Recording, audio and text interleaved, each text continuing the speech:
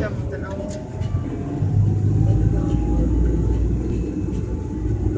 Sa may kulit.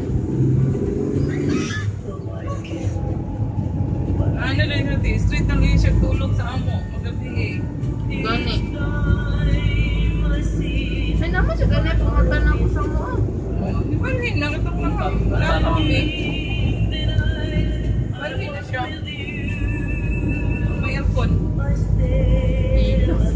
Dito siya nagpatubang sa electric fan. Hindi siya katulog kung mag-run out. Pay-pay ka na. Hmm? Low sa food.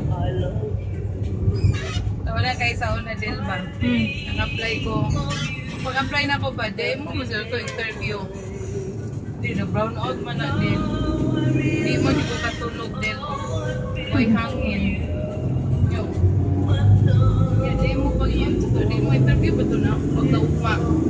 So, na mo na yun. Silang duha. Puli-puli silang duha. Pay-pay ako din. Hmm. Ya. Naglalis.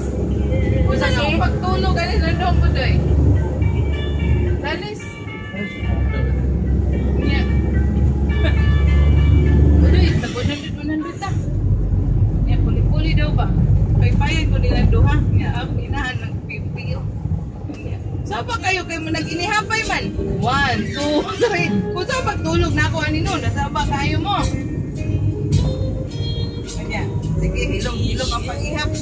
Bago na bago nga ako. Ano si Bodoy? Manager, si Jojoy, mana? Bago Madali pa. sa Sige, ikaw pay-pay, ako ihap. Ano? Okay, na Bodoy na pay-pay, si Jojoy ihap. One, two, ano? Yung si Jojoy, Bodoy, sa kuna pa. Hinayang ko na yung ihap. Jojoy, lali naman sila. Ako, sige po katulog yun. Magpuntag yung pay-pay na po. Sama kayo mo na pa. Kasi sinabot na silang doha. Kanang isa te, di pwede way hangin. Ah, nadugayan din, nalukoy na ko nila din, makita ko na nila.